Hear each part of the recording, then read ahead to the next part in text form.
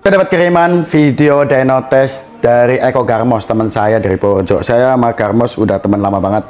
Kemarin saya sempat kasih sampel atau saya suruh nyoba karena dia lagi bikin bebek diet. Dia juga orang di belakang yang sering bikin motor-motor balap di acara road race. Ya, kalau kalian senior atau pemain lama pasti kenal banget namanya Eko Garmos atau bengkel Ultra Gemini, Bos.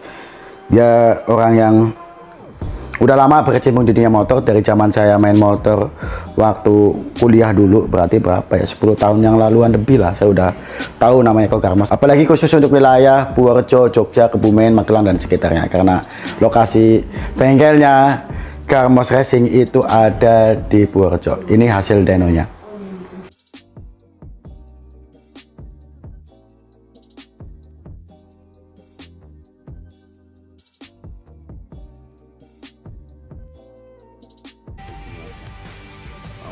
plus apa min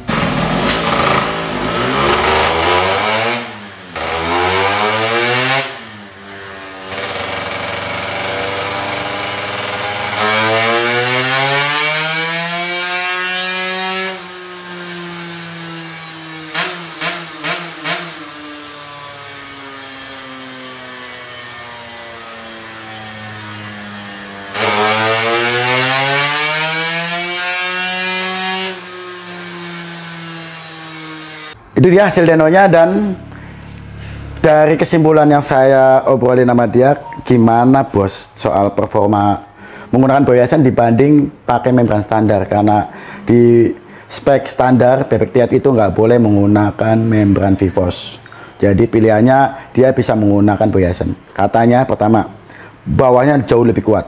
Bisa dicek dari hasil denonya. Terus kedua torsi naik. Nih kenapa bawahnya lebih kuat? Karena ini nih.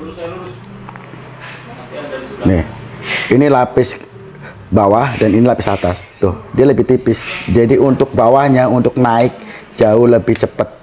Bawahnya jadi lebih kuat. Suplai bahan bakarnya otomatis naik ke power dan ke torsi. Thank you Eko Karmos.